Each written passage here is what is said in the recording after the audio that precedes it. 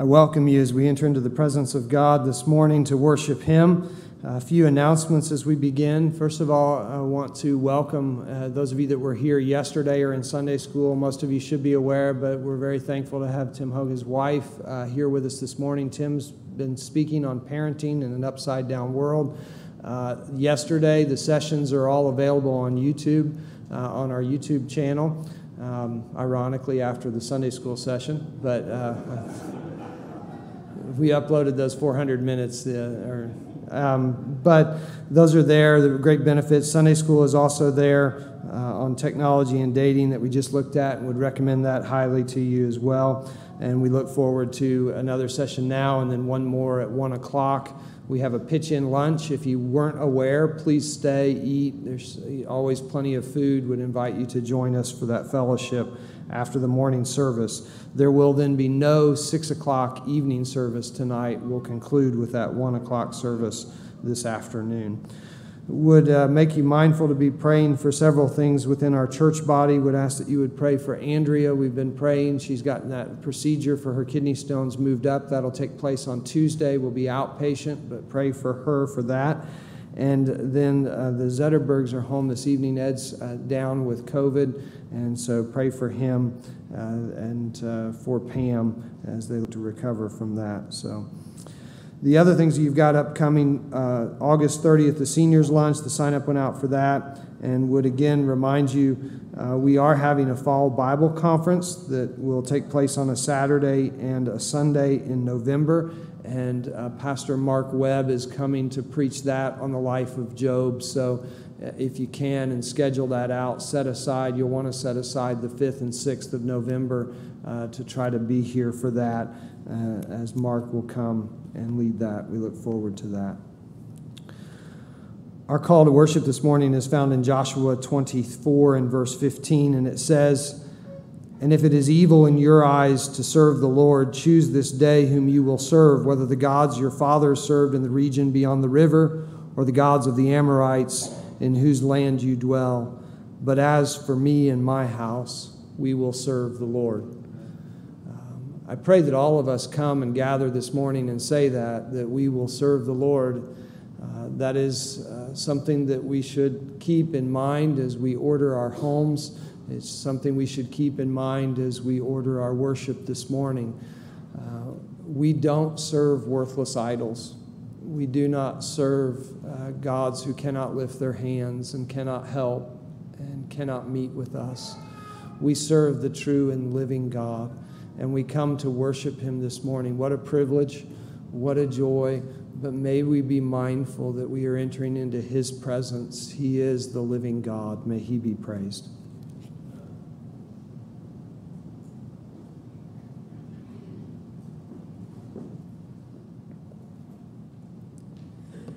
Please turn your grace hymnal to number 136 and let's stand together and sing, O For a Thousand Tongues to Sing.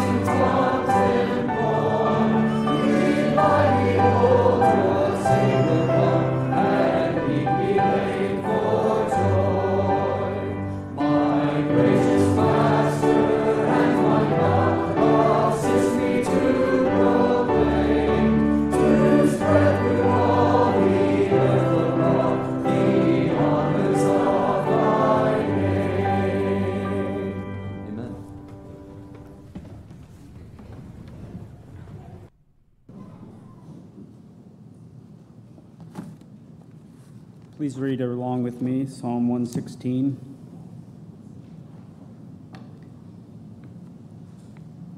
I love the Lord because he has heard my voice and my pleas for mercy, because he has inclined his ear to me.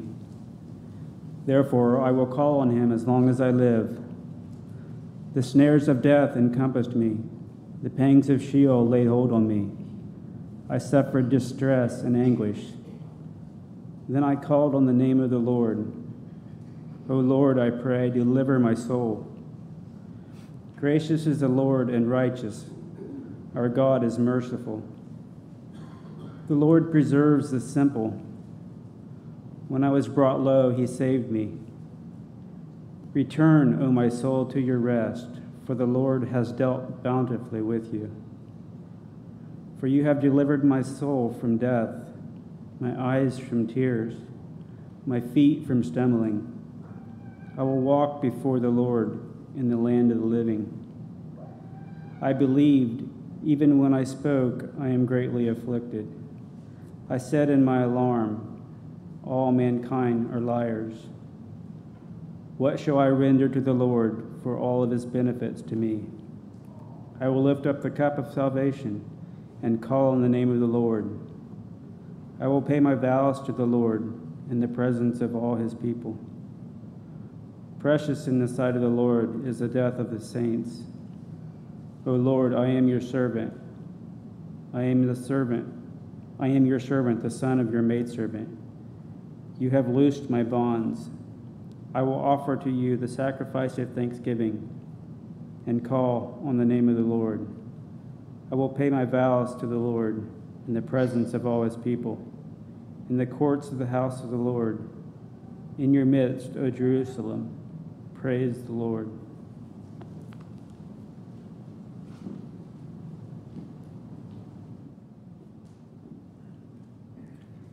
Let's pray. Our Father in heaven, we're reminded here, even in this very passage, that you hear our cries, you inclined your ears to us. Father, we come to you this morning asking many things. And Father, we ask that we might uh, praise you and glorify you. We might serve you appropriately this day. What a privilege it is to call you Father to know you in such an intimate way. And we know, Lord, that that has come about because of the work that you did in our hearts in calling us into yourself through the blood of Jesus Christ. And Father, we praise you for that opportunity today that we have to serve you, to praise you. And Father, we ask for your help, even as we meet here this morning, that you will be glorified, that we will be thanks, that we will be thankful, Lord, and that we'll raise our voices to you in, and gratitude, Lord, for all that you've done for us. Even as the psalmist has praised you because you heard his cry, so you've we praise you again this morning, Lord, because of the answers to prayer you've given us. We thank you, Lord, for the small things that were answered this week, the large things in our estimation that you heard us cry out to. And Father, you were faithful to us. And because of that, Lord, we love you and we desire to serve you. Father, we pray for the, those who are ill and hurting in our own assembly here, and we pray particularly, Lord, for Andrea she enters into the surgery Tuesday. We pray that there will be no delays in this. We pray, Lord, that this procedure will help her, give her the comfort that she needs, and, and help her, Lord, through this very difficult situation. Lord, we pray for Ed as he's suffering with COVID and Pam with him there at the house. We pray that you'll encourage them in the midst of this, Lord, and that you'll heal their bodies. We Pray for Steve Martin, Lord, as he's away from us, preaching in another congregation. Bless his ministry there, Lord. May you be glorified. May the souls be encouraged, Lord, and may your word go forth freely. And Father, we thank you for what you've done for us this weekend. We thank you for the clear message from your word about parenting and all the things that your scripture addresses regarding that. You've not left us in this world alone. You've given us your Holy Spirit. You've given us the instruction from your word. Father, you've prepared us well for the things ahead of us. We ask, Lord, that we might take these things seriously, that we might pray for each other, that those of us whose kids are already out of the house might pray for those who are in the midst of it right now. And Father, we pray that we might encourage one another through your word and through the truth of your word to be faithful, Lord, in the task before us. Father, we thank you for your servant who's come to speak to us this day. We ask that you bless him in this hour. May, his, may the word from his mouth, Lord, be according to your word. And Father, may we be encouraged and blessed by that. May we be, if times, Lord, if we need to confess sin, may we be encouraged to do that as well and repent of our sin. But Father, we ask that you be the one who is preeminent in this hour. Thank you again for loving us the way you do. Thank you for being merciful to us this week. Thank you, Lord, for caring for us in ways that many of us probably won't even express other than in a prayer to you. But we praise you, Lord, and we love you. Be with us this day. In Christ's name we pray. Amen.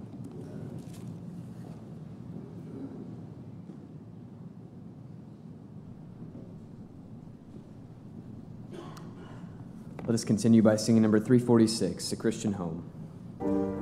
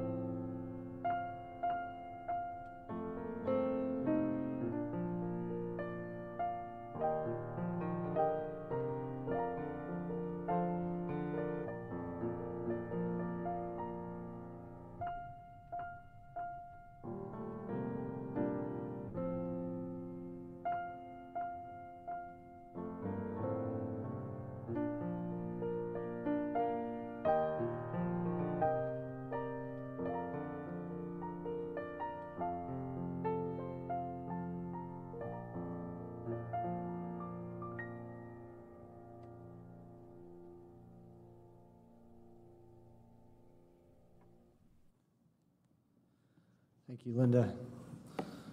Well, it's a time for our pastoral prayer, and I want to pray for our homes, but I want to try to give Tim as much time as I can this morning, and so I'm just going to thank him and introduce him. But um, many of you are very well aware Tim is a longtime friend uh, to, to me uh, and to our church body and many within. Before you get the wrong impression, I grew up with his sons, not Tim, so. Um, but uh, his son Ben is married to Kelsey, uh, used to be Maul, uh, and then uh, his other son Aaron Hoak, we often pray for at Grace Baptist in Warsaw.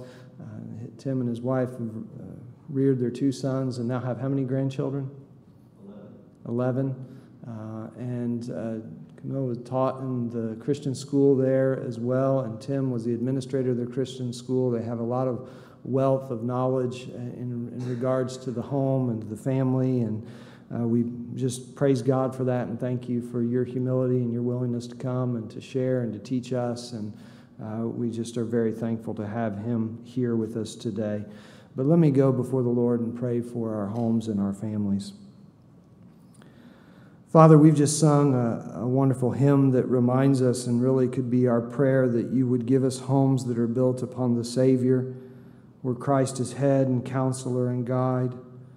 And we do, we pray that every child that is raised in those homes would come to know you, that they would see the worth and the worthiness of the Savior through the lives of the parents. Uh, Father, that you would help us as fathers and mothers, that we would be so dependent upon Christ, that we would be so changed by Christ in our own lives, that um, our children would know that we are who we are by the grace of God and because of Christ.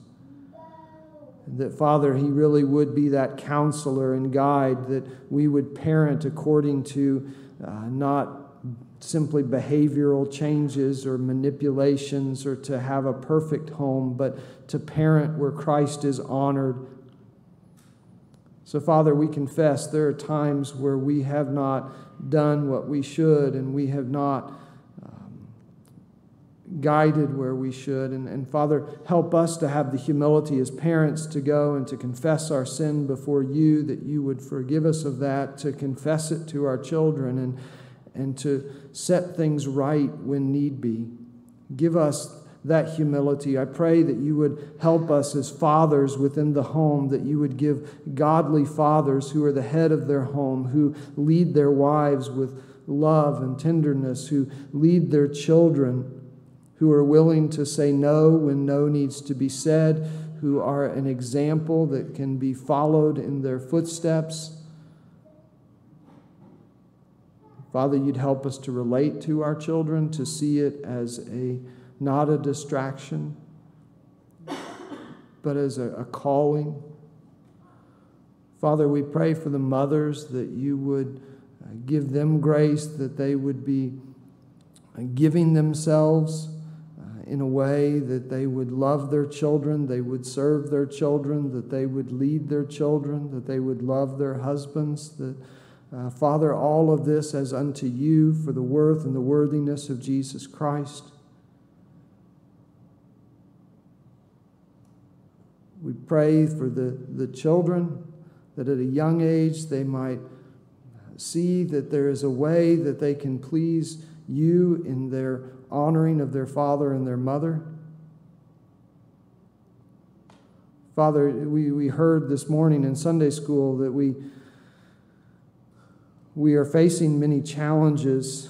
Our children face many challenges, the ease of which that they can be distracted or the ease of which they can enter into sin, that you would keep them.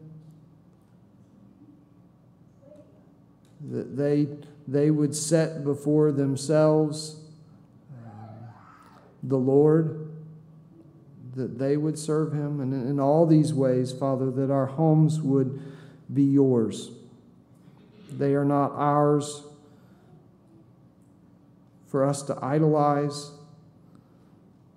we are given this opportunity, and what a precious blessing to serve our Savior and our God. May our homes do so. Father, where, where there are those that have reared their children and there are still breaking hearts, uh, Father, that they long for their children to know you. We've heard the history, the stories of adult children who cannot get away from their mother's prayers and teaching, their father's prayers and example. Father, may it be so. May they, they continue to pray and continue to hope in Christ. Continue to see their worth in serving you regardless, regardless of the outcome. May we in our houses serve the Lord. We give you praise in Jesus' name. Amen.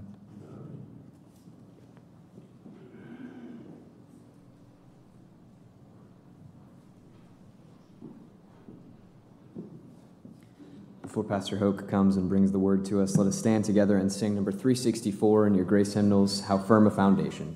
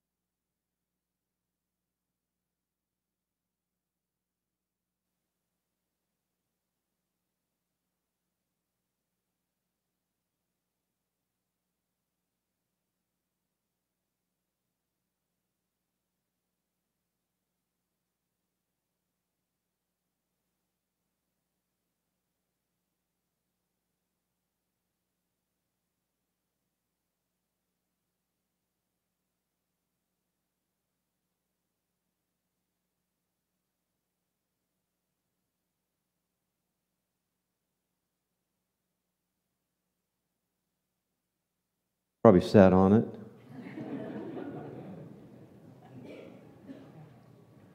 See the evils of technology. We were talking about that in Sunday school. Man. I want to thank your pastors for inviting me to come this weekend. It's been a delight. Uh, for us, we had a good day yesterday. And uh, how many of you guys were here yesterday? Thank you for coming back. I realize this is not your normal setup for Sunday morning worship service. You don't usually have PowerPoint pictures on the wall. You usually have your hymns on the wall, and because I got my stuff up here, you had to use hymn books. I'm sorry for that. um, and it's also um,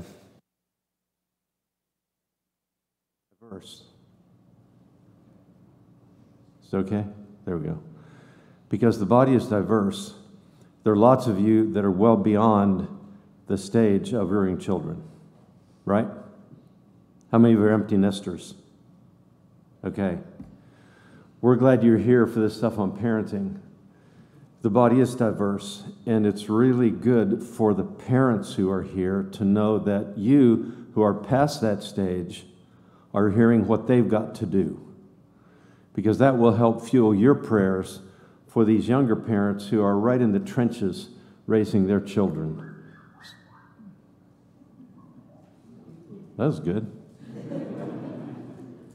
So it's really good that we've got a mixed crowd this morning, even though what I'm going to say applies primarily to those who are in the throes of rearing children.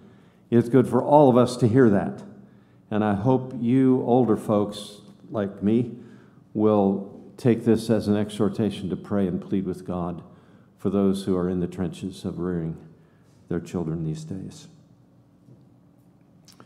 It's one thing to acknowledge theologically and intellectually that we're altogether helpless when it comes to everything, but if you want to take helplessness down off the shelf and feel it in the depths of your soul, have children. And you'll feel it. We could call this series, I think I said this the other day, Humility 101, and it's true, but it's just as true that God gives grace to the humble. Don't ever be upset that God has ways, all sorts of ways, to humble you. Okay? Because who does God give grace to? The humble. I have a good friend out in California who always says, stay down low because grace flows downhill. God gives grace to the humble. So stay down there, okay? And, and grace comes, and it comes to parents when we're in that place of desperate need. And all of you, parents, parents clothe yourselves with humility toward one another, for God is opposed to proud, parents. but gives grace to the humble. But if any of you, parents, parents lack, lack wisdom, let him ask of God who gives to all generously and without reproach, and it will be given to him.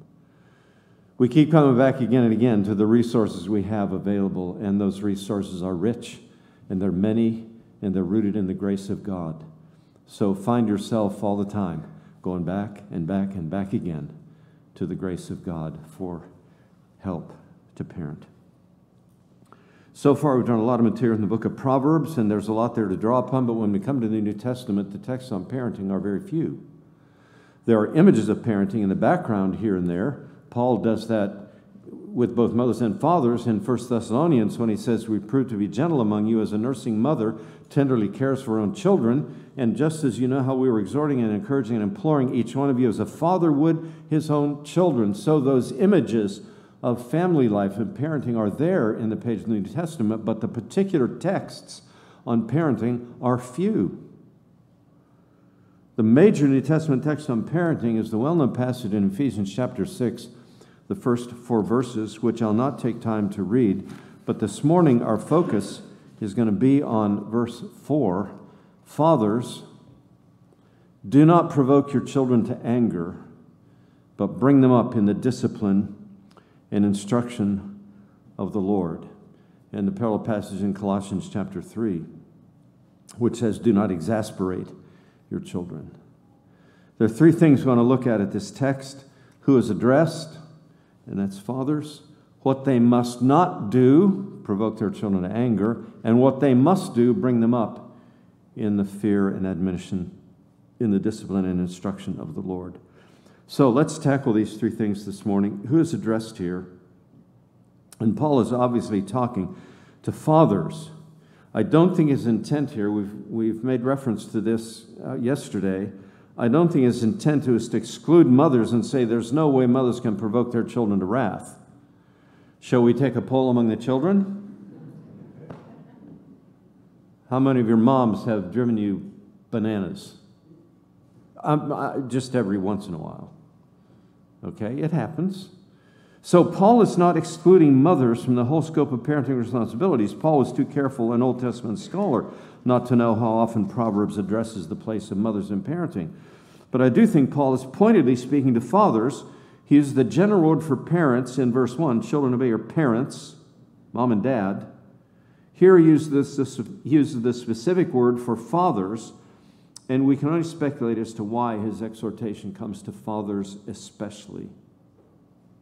Maybe because fathers are the heads of their homes and are responsible to see that this exhortation is carried out across the board. It may also be because it's the peculiar temptation, I think, of fathers to exasperate their children and to dishearten them. We are generally, I know there are exceptions, but dads are generally not as, not as tender and understanding and patient as our wives are with our children. So maybe it's because Paul observed that and he calls on fathers, particularly. It may also be that under the inspiration of the Holy Spirit, Paul is addressing dads because dads, more than moms, in the majority of cases, are the ones who bail out on their kids. In 1961, out of every 10 children under 18 lived without their father. In 2018, one out of every four children lived without their father. But you know, the sad part is that dads can bail out on the kids without ever leaving the home. They pour themselves into their work, their hobbies, their recreation, themselves, but they don't always pour themselves into their children. So Paul is after fathers here especially. So I'm asking you dads, tune in and stay with me because Paul is talking to you. Okay? Moms, don't tune out. Okay, you stay with me too. But dads, particularly pay attention. Now, Paul talks about what they must not do. And what he says is, do not provoke your children to anger, or in Colossians 3, do not exasperate your children that they may not lose heart. Those could be translated, stop provoking your children or don't ever be provoking your children. Stop exasperating. Don't ever be exasperating your children that they may not lose heart or be discouraged or cast down. It's critically important that we understand what Paul is not saying here. He is not saying don't ever do anything that would make your children unhappy. Okay? that would cause your children to be upset with you or even to be angry. There will be any number of things you must say to your children that they are not going to like. No, you may not have another piece of candy. What kid likes to hear that from dad? No, you may not have another piece of candy.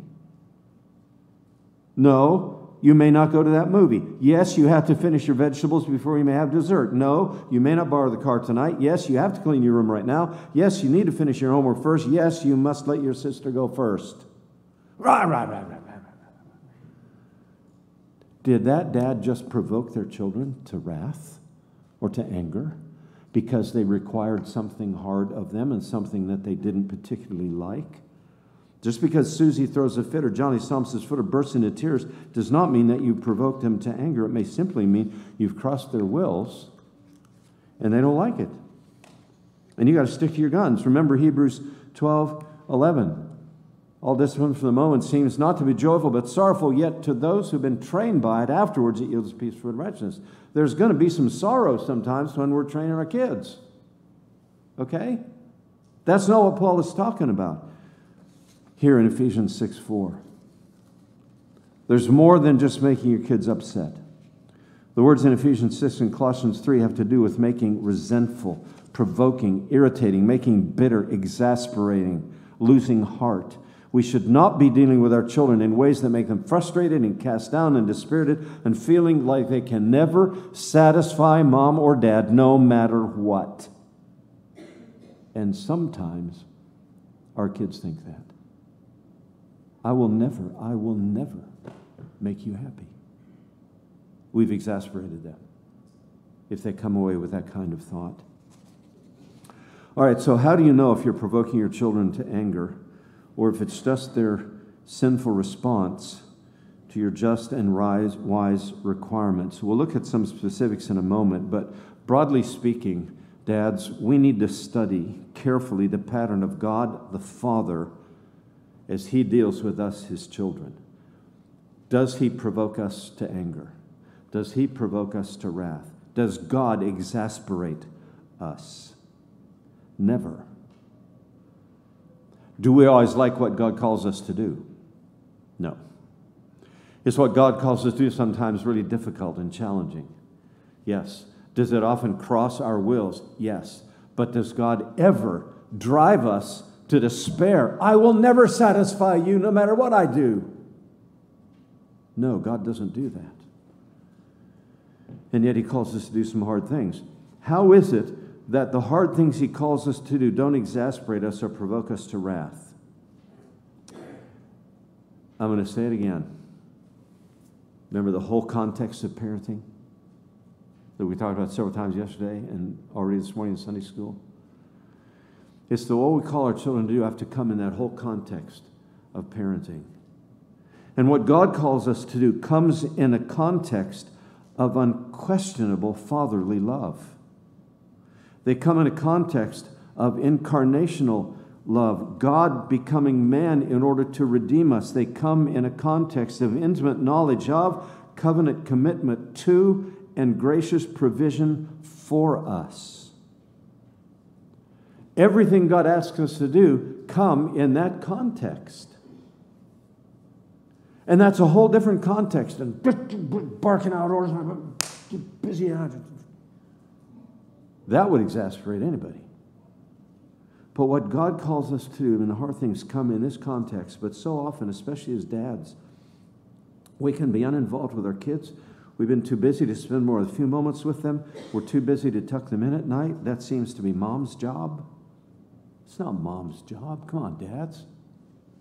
Tuck your kids in at night. Spend some precious moments with them.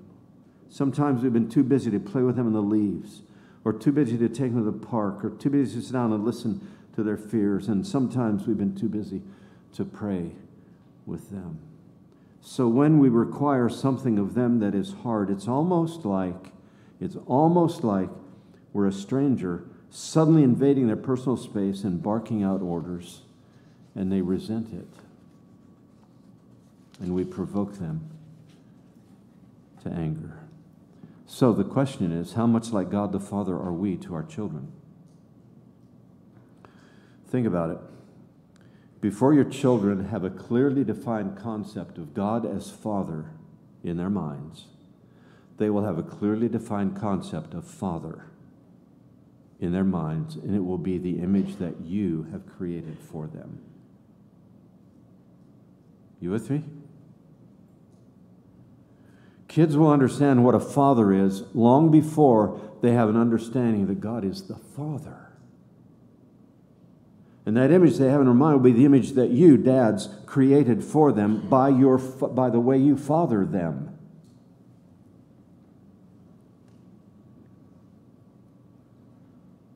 So when they learn that God is Father, that will either set well with them or it will cause them to struggle with God being described that way. It hangs on what kind of a father you have been to them.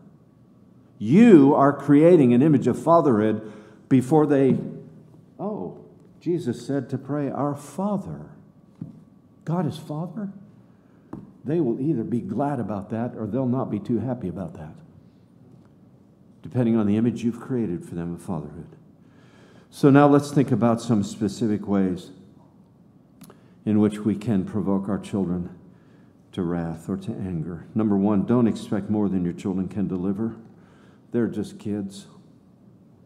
And they're at all different stages. You wouldn't expect a three year old to do what your 10 year old is doing. And not all of your children have the same gifts and abilities and strengths and weaknesses. You must know them. You must know your children. Proverbs 27 23 says, Know well the condition of your flocks, know well the condition of your children. If I ask you, dads, right now, spur the moment, to sit down and write a detailed paragraph on each of your children, outlining their personalities, their strengths and weaknesses and capacities, etc., could you do it in three minutes? Or would you have to struggle with that? I hope you could do it in three minutes. Don't expect more than your children to deliver. That means you've got to know them well. You've got to know them thoroughly. This is where we have to distinguish between their sinnerhood and their creaturehood. When you're teaching them, we talked about this yesterday, when you're teaching them how to use a fork and spoon, you don't berate them for missing their mouth. That's their creaturehood. But flinging their food across the table in rebellion is their sinnerhood. And that's got to be corrected. If your child, listen, if your child is not blessed with natural athletic coordination, you don't give him a tongue lashing for missing the ball or falling down or not scoring a goal. That's their creaturehood. And not everybody's going to be an athlete, okay, Dad? I played soccer in college. And I loved, I still love the game of soccer. I love to go watch my grandkids play. But not all my grandkids play soccer because they're not all good at it.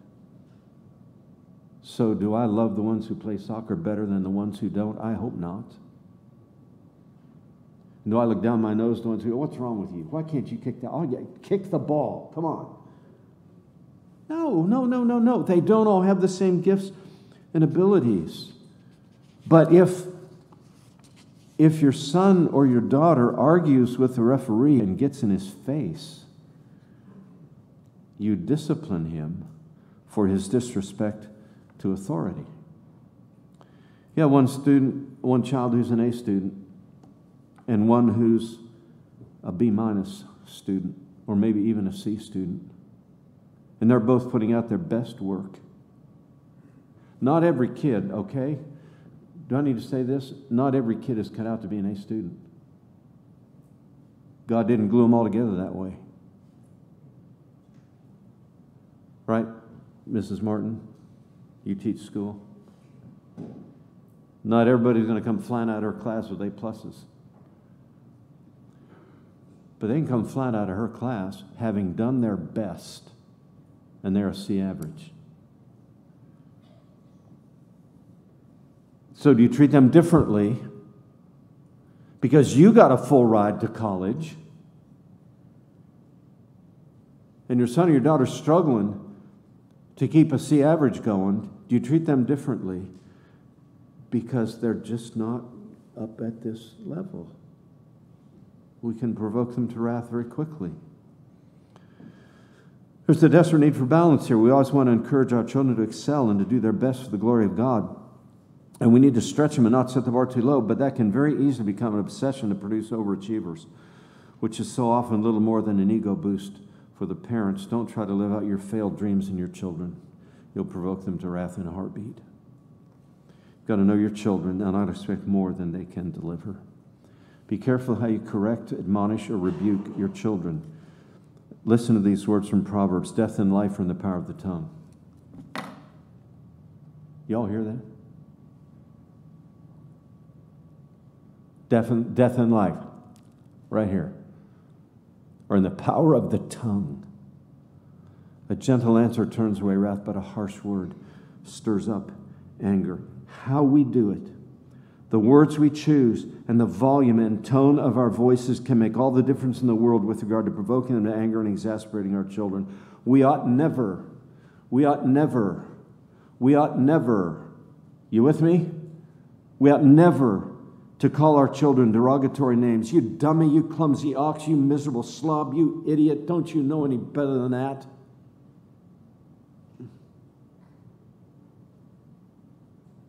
Death and life are in the power of the tongue. You just, you just killed your kid.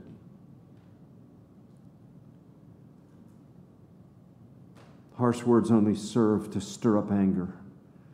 Can't you do anything right? You'll never amount to anything. You make me sick. You better not mess up one more time or I've had it.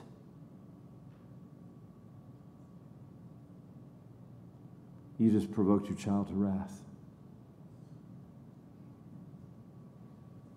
We've sometimes taught our children that we don't mean business until we resort to harsh language or a certain volume. Normal conversation is give or take around 60 decibels. But you know what we've taught our kids sometimes? We've taught our kids that disobedience is okay until we had about 100 decibels. We taught them. They've trained us that they don't have to obey until we get to shouting the roof off the house.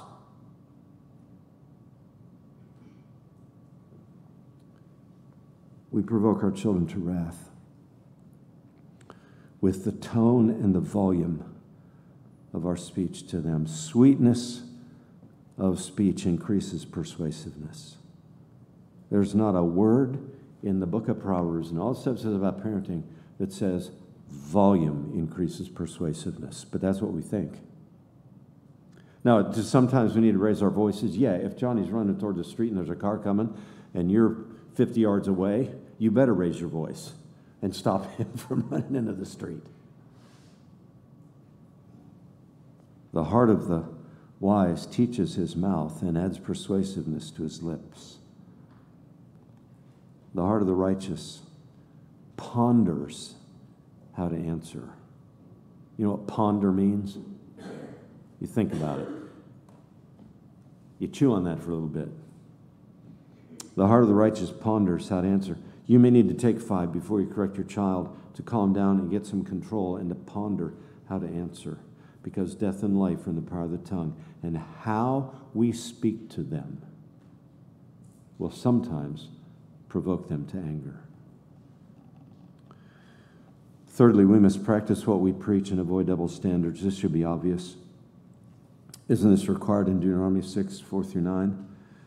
The words which I'm commanding you shall be on your heart, and you shall teach them. Our children will quickly become frustrated with a lifestyle that is forced upon them and not lived before them.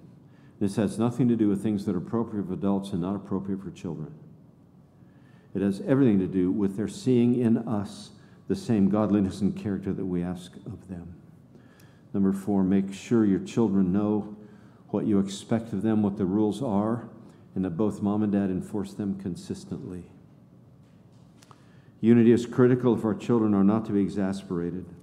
A laid back dad and a driven mom, or a driven dad and a laid back mom, who've not agreed on how they're enforced the rules in their home, are a surefire recipe for, for frustrated kids.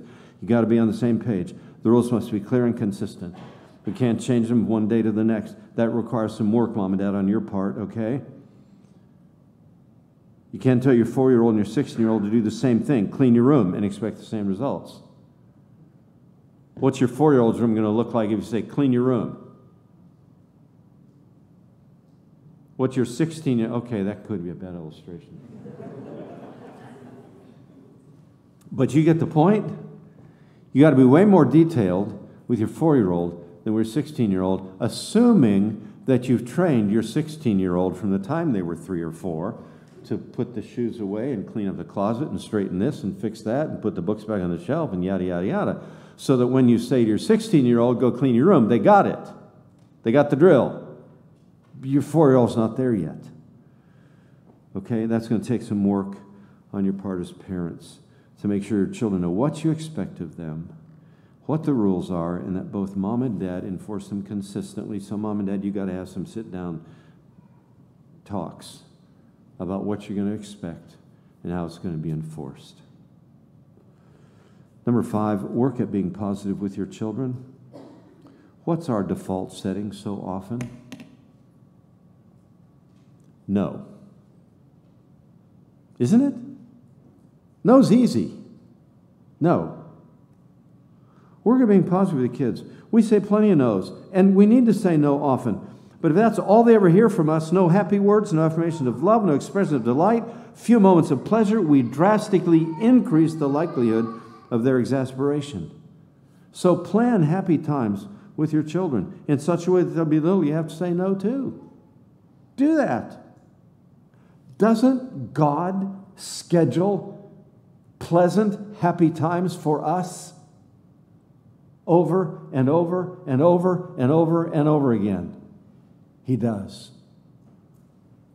Plan happy times with your children. Be sure that your no's are necessary and not simply a convenience for you. Mama, Mama, may I go out and play in the new snow, please? And what comes to Mama's mind? Snowsuit, snow boots, wool socks, scarves, sock hats. 10 minutes, and they're back in and dripping all over the floor. No.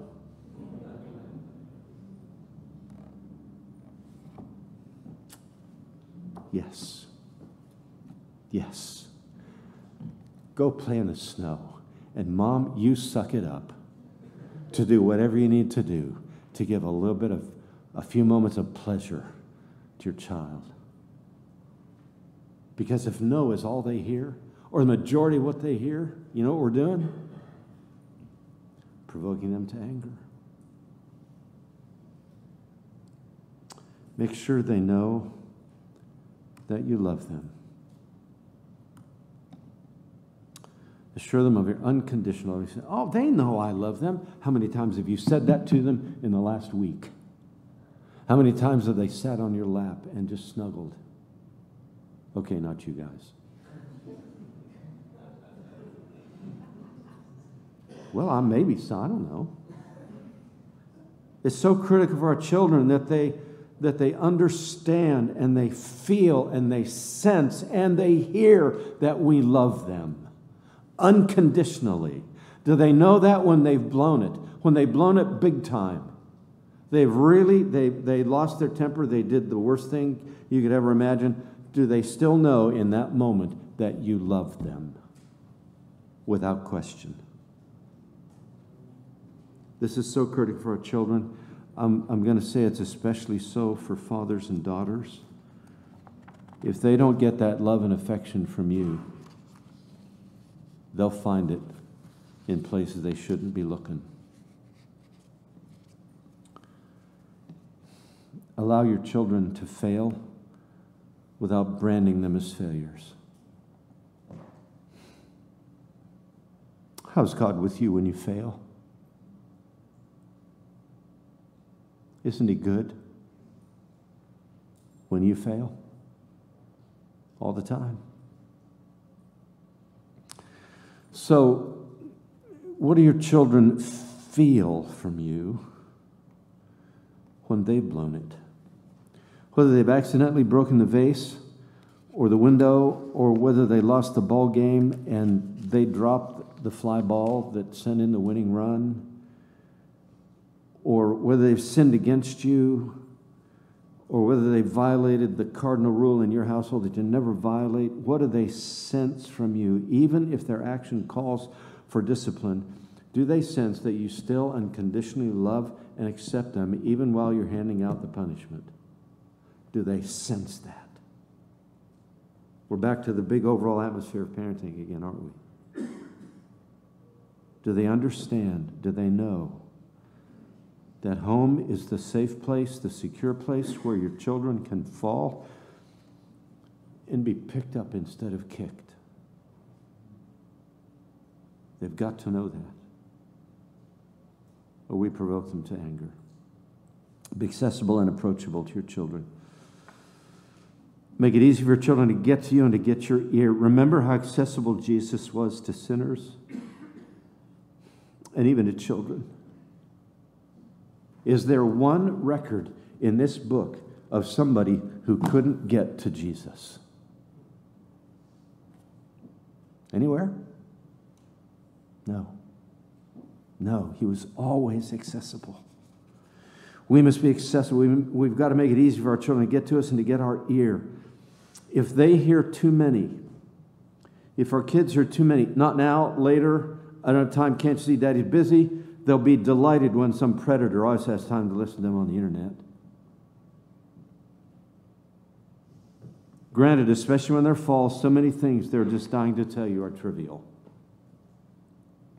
Grandpa, Grandpa, that's what I am, okay? Grandpa, Grandpa, Grandpa, Grandpa, guess what? What? The snow is melting. Yeah, that's what it does. Grandpa, Grandpa, Grandpa, the snow is melting. You're right. Look, it is. And look at the little rivers that are coming down the sidewalk from all that melting snow and watch it, watch it dripping off the trees. Isn't it cool the way the snow melts? If our kids can't get to us with trivial things, will they ever come to us with what's really important? We've got to be accessible to our children so that when they have something really critical, they'll come because we've not shut them down too many times. Please don't compare your children to other children, not even to the brothers or sisters. Why can't you be like so and so? Because you got one kid that's a neat freak, and you got another kid who is pigpen. Why can't you be like your brother? Because God, uh, some kid ought to answer back if they can do it with respect. Because God didn't make me that way, okay? God didn't make me that way. Don't be partial. Don't compare your children. Don't be partial to one over another, and that's way more easier to do than you think. Because you got one who's just like you, and you got one who you wonder, did this kid come from me?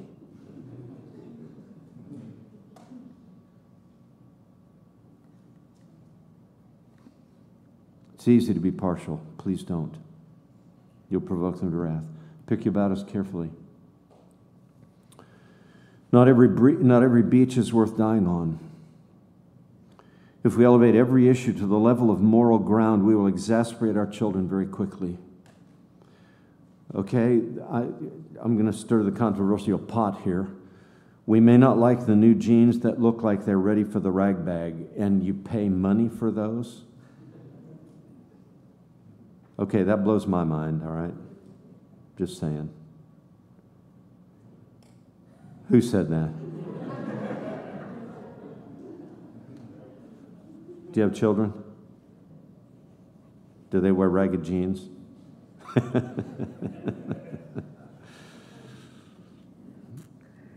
we may not like the new jeans, the ragbag jeans. We may not like pierced ears. We may not like highlighted hair. We may not prefer posters on the walls of the room. They may like a genre of music that we don't care for. But if we're ready to spill blood on every one of those kinds of beaches, we're going to exasperate our children very quickly.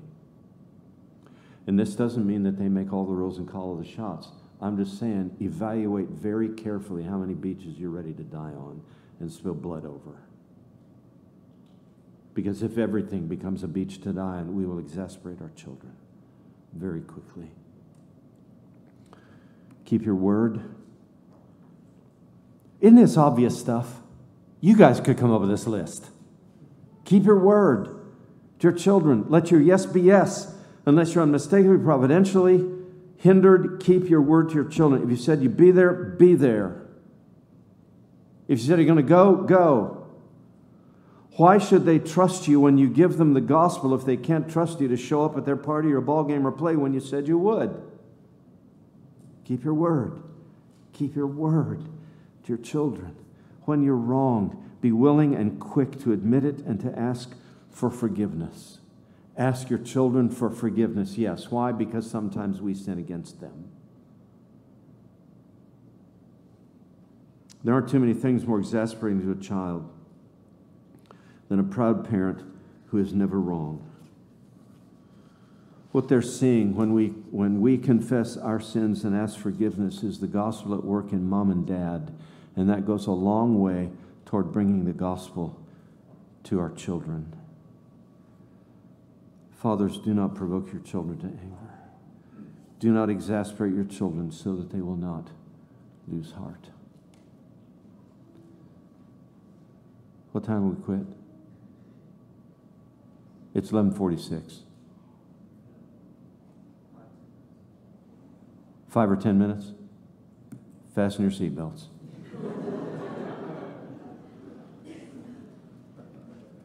he said five or ten. You heard that, right? I'm going for 10. What they must do, bring them up in the discipline and instruction of the Lord. Bring them up. The word means to nourish, provide for it, bring to maturity. It's what Christ does for the church in Ephesians 5:29. He sees to it that the church has everything she needs to come to maturity. This is what we're supposed to do with our children. Bring them up. We're not spectators. Bring them up. We're not spectators to the process of our children growing up. We're to bring them up, take them by the hand, and lead them through the whole complex of life's events and decision experiences to be well adjusted, responsible, mature adults who understand what life is about, why they're here, where they're going, what the point of it all is. Bring them up, lead them. This is our clear and present duty. And if we do not take up this call from God, our children will be in a very clear and present danger. We have a wonderful illustration of this in what Joseph and Mary did with Jesus. Luke 4:16. And he came to Nazareth where he had been brought up. Anybody an English teacher in here? What's wrong with y'all? That verb is passive. Where he had been brought up, it means the subject was acted upon. It's not the subject doing the action, it's the subject acted upon. Where he had been brought up. It doesn't say where he grew up. Who brought him up? Mary and Joseph. That ought to shock us and not shock us all at the same time. It ought to shock us that the Son of God, the second person of the Trinity, who is before all things, by whom all things hold together, as part of his humiliation, subjected himself to an earthly pair of created, finite, limited, sinful human beings, but he did. That ought to shock us. And it ought not to shock us if we take that humiliation seriously and understand that his humanity, sinless though it was, was as real as yours and mine. He didn't come out of Mary's womb speaking fluent Aramaic, he came out gurgling. He didn't come out walking or able to eat solid food or potty train. He was a helpless baby who had to learn everything from scratch, and he didn't have angels for tutors. He had Joseph and Mary. That ought to blow our minds. If we take his humanity seriously and his deity seriously, where he was brought up. What did they do? Luke 2. He went down with them and came to Nazareth, and he continued his rejection to them. This is the this, this is the, the, the years of his life from 12 to adulthood about 18 years worth of life till his public ministry. He went out with them and came to Nazareth, and he continued his rejection of them, and his mother treasured all these things in her heart. And Jesus kept increasing in wisdom and stature and in favor with God and men. Wow. Mary and Joseph saw to his intellectual development. He increased in wisdom. They saw to his education. They taught him. They set before him the fear of the Lord, just the beginning of wisdom. They saw to his physical and emotional development. He increased in stature. They guided him through the many changes that take place in a growing boy's body. They didn't stand back and watch it happen, they brought him up. So we're trying to understand. Do not provoke your children to wrath, but bring them up. Dads, we've got to bring our children up. We've got to see to their intellectual development, see to their physical and emotional development. They saw to the cultivation of his spiritual life long before Jesus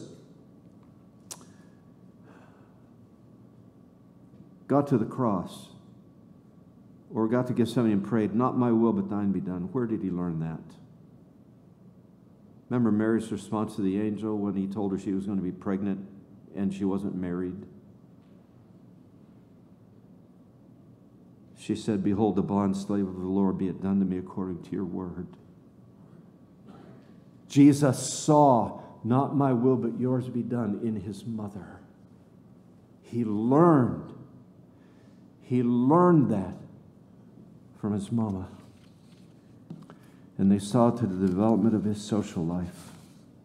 He increased in favor with men.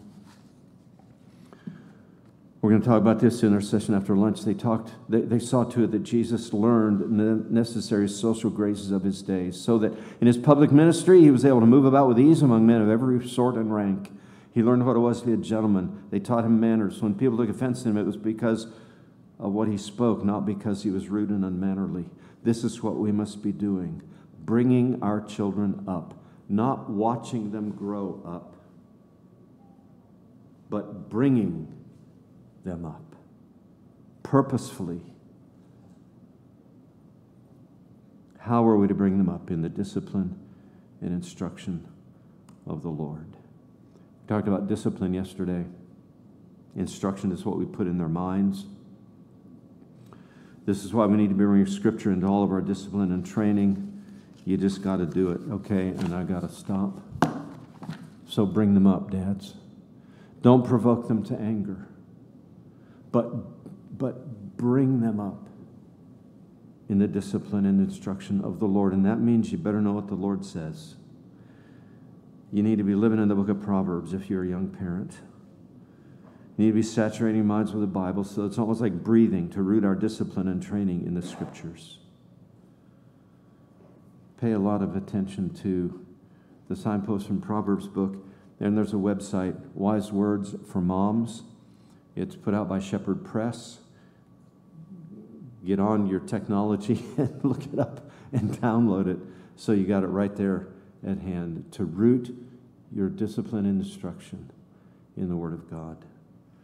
What a high and holy calling it is to be a parent. What a joy it is to see our children come to know the Lord.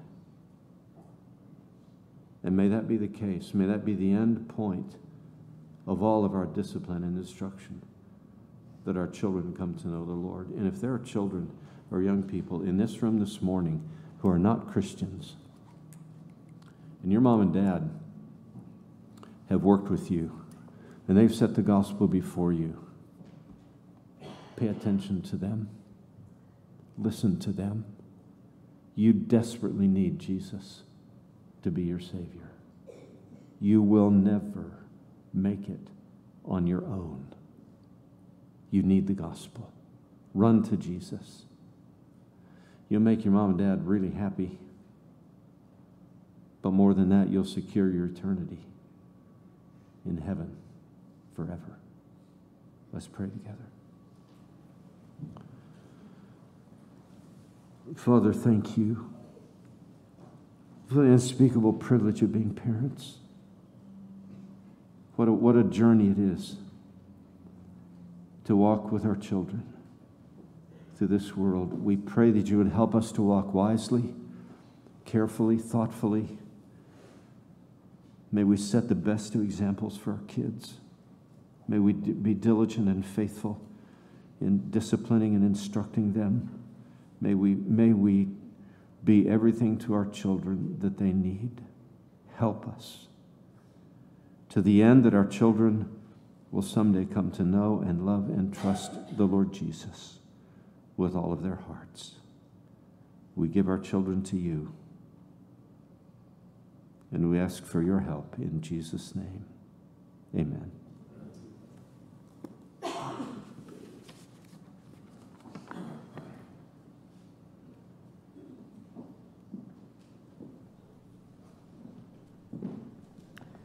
If you'll turn to number 179 in your grace hymnal, let us stand and sing together, Tis So Sweet to Trust in Jesus, just the first and fourth verse.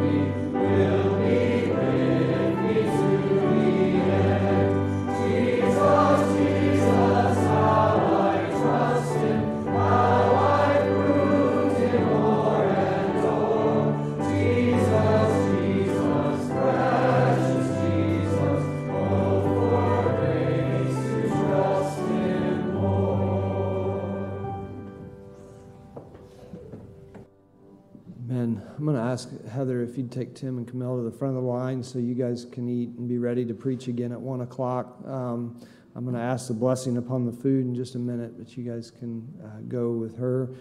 Uh, what wonderful truths we've heard. I know some may uh, been a gut blow, uh, a little bit to work on or a lot to work on. Um, I promise you, as we just sang, you'll be glad if you did um, if you will trust God's word and follow it, uh, and it will prove to be true. Uh, there's no other way than His way. So uh, may we put these things into practice, relying upon Him and His grace as we do so. Well, let us play, pray, and if you haven't joined, please, or if you hadn't planned on joining us for lunch, please do, uh, and stick around for the one o'clock service. Let's pray. Father, we give you praise. We thank you for what we've heard. Father, we thank you for who you are as our Heavenly Father. Uh, Father, we thank you for sending your Son, the access that we have to you through Christ.